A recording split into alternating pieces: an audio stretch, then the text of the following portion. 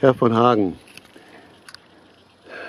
Sie sind ja schon seit, Jahr, äh, ja, seit Jahrzehnten, wie ich gehört habe, dabei, sich äh, für den Schutz der Hornissen einzusetzen. Und Sie wollen mit mir heute ein Hornissennest umsetzen. Was müsste denn der Bevölkerung einmal gesagt werden, was man beim Umgang mit Hornissen beachten sollte? Wenn man sich einem stärkeren Volk nähert, ist das natürlich verteidigungsbereiter als so eine kleine Anfangskolonie mit einer Königin und wenigen Arbeiterinnen. Ab August sind die Hornissen verteidigungsbereiter, weil die Völker größer sind.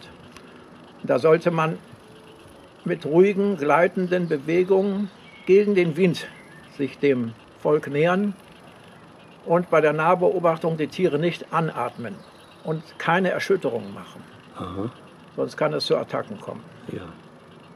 Und wenn die Tiere einen attackieren oder ähm, nervös werden, indem sie einen heftiger umfliegen, sollte man sich mit ruhigen Bewegungen entfernen. Das ist eigentlich alles. Grundsätzlich sind sie ja friedfertig, ja. was gar nicht so bekannt ist. Also Hornissen sind relativ ruhig und gewöhnen sich schnell an einen friedlichen Beobachter. Ja. Wie ich das immer wieder erlebe. Ich habe die Hornissen immer stets dicht an meinem Haus aufgestellt. Die Tiere gewöhnen sich an meinen Hund ja. und an mich. Ja. Man merkt es, wenn ich Besucher habe, dass sie dann bei den Besuchern etwas nervöser sind und ja. zu umfliegen beginnen. Bei mir sind sie ganz ruhig und bei meinem Hund auch. Ja. Und die Königin hat sich ja an mich auch irgendwie gewöhnt.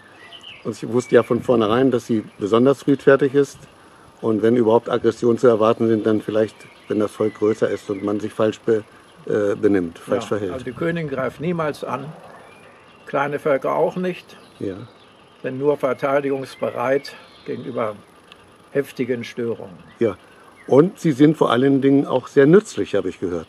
Ja, sie fangen also äh, die Menschen lästige Insekten, viele Fliegenarten, aber auch Wespen werden gefangen und an die Brut verfüttert. Ja. Vielen Dank für das Interview.